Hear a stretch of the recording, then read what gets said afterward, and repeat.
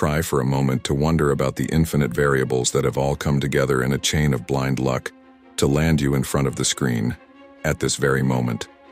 For you to exist at all is a coincidence.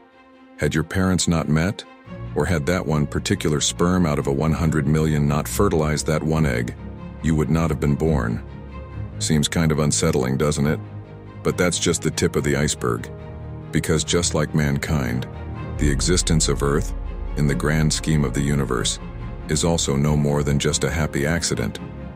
Indeed, our planet is just the right distance from the Sun, has a core that's just radioactive enough to keep spinning and provide a magnetic field, a moon that's just big enough to stabilize its rotation, an ozone layer that's just thick enough to shield us from radiation, and is located in a safe harbor in the smack middle of two violent spiraling arms of our galaxy, the Milky Way.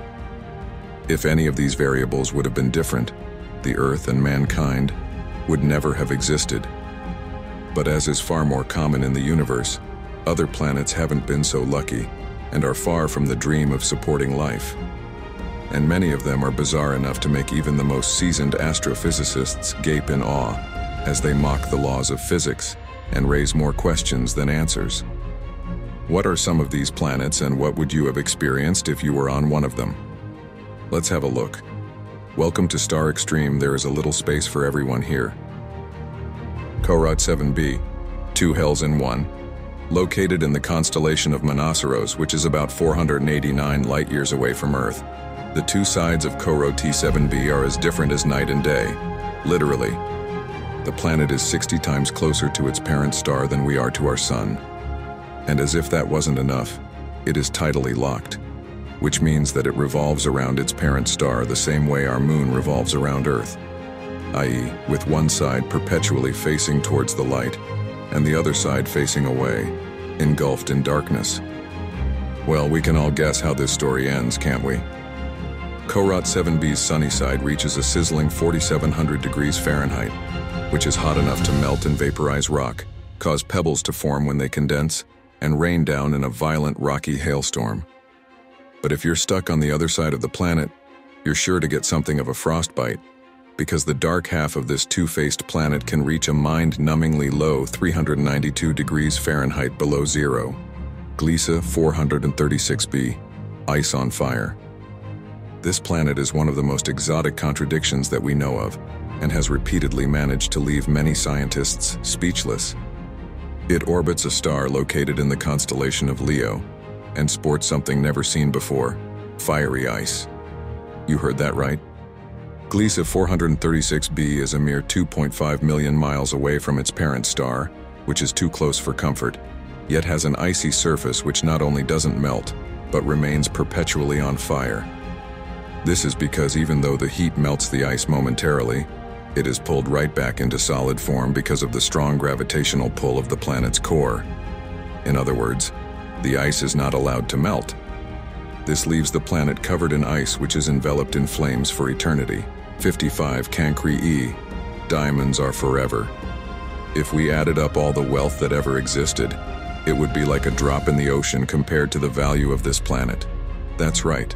55 Cancri E, which is twice the size of Earth, and is located about 41 light-years away in the constellation of Cancer, is famous for one thing. About one-third of the planet is diamond, which has resulted from atmospheric carbon reacting with the heat and pressure from its parent star. What's that worth, you ask? A pretty big chunk of change, to be honest. Around $27 nonillion. That's 27 followed by 30 zeros in case you're wondering. To put it into perspective, our good old Earth's GDP in 2019 was about $142 trillion, which means that the diamond planet is worth about 200 quadrillion times more than the Earth's GDP, and a mere 0.2% of the planet's diamonds would handily pay off all the debts held by our world's governments. TrES 2B, Vantablack.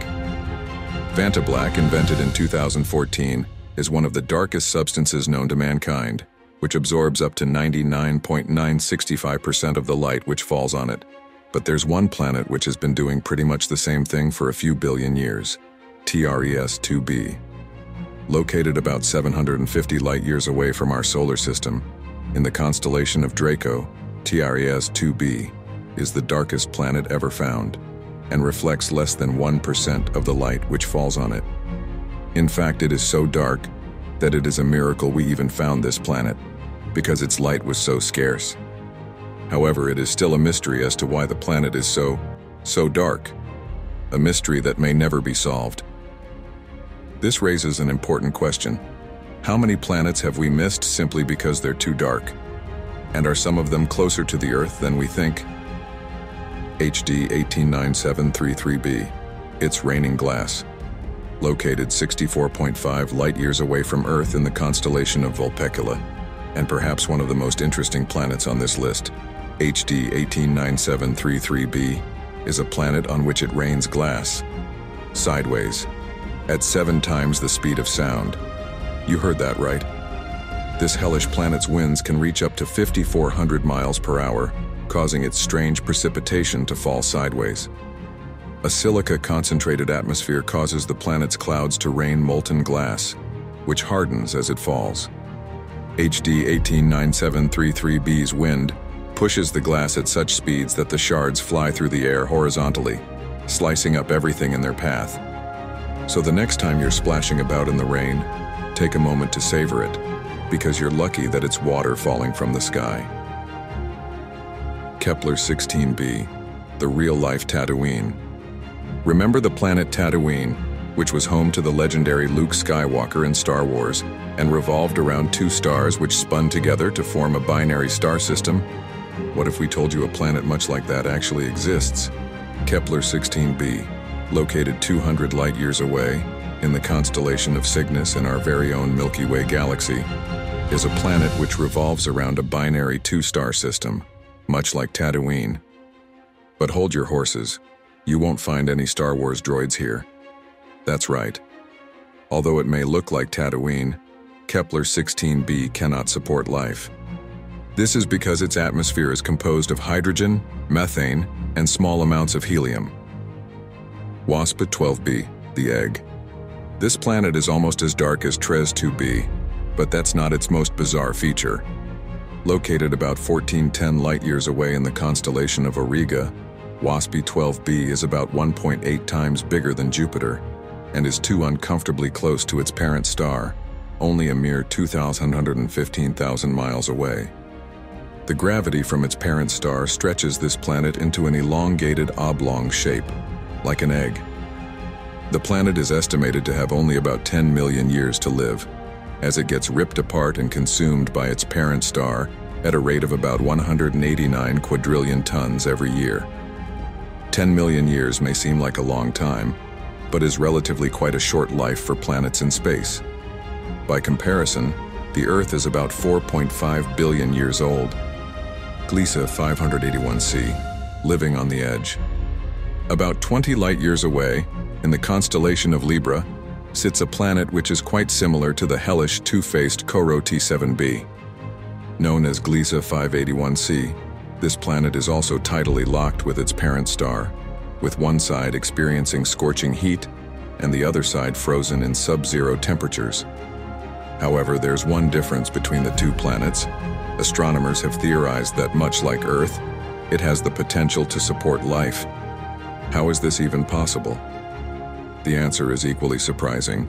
Between the two extreme weathers of the planet sits a narrow strip of land called the Terminator Zone, in which the temperature may be just right to support life. WASP 17b. The Big Puff.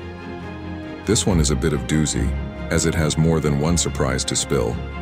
Located in the constellation of Scorpius about 550 light-years away from Earth, WASP 17b is a complete anomaly.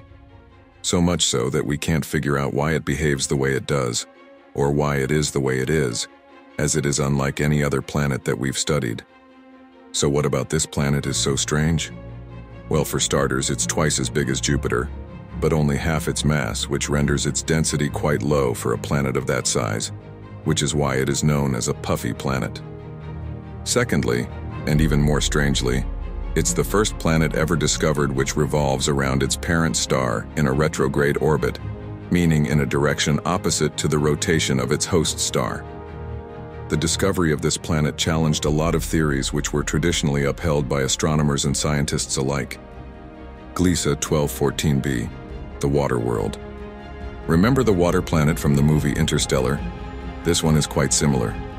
Located about 48 light-years away in the constellation of Ophiuchus, Gliese 1214b is a huge water world thrice the size of Earth, in which water contributes to 10% of its mass. By contrast, Earth's water contributes to only 0.05% of its mass, so we can guess what would happen if we decided to go for a swim on this planet. Gliese 1214b is thought to have oceans reaching depths of as much as 1600 kilometers. To put that into perspective, the deepest point in the Earth's oceans is the Mariana Trench, which is only 11 kilometers deep. Needless to say, as a species who have just explored about 5% of our own waters, we cannot even begin to imagine what horrors may lie within the depths of this ocean planet. Did I miss any other bizarre planets? Let us know in the comments below. And don't forget to subscribe to Star Extreme. There is a little space for everyone here.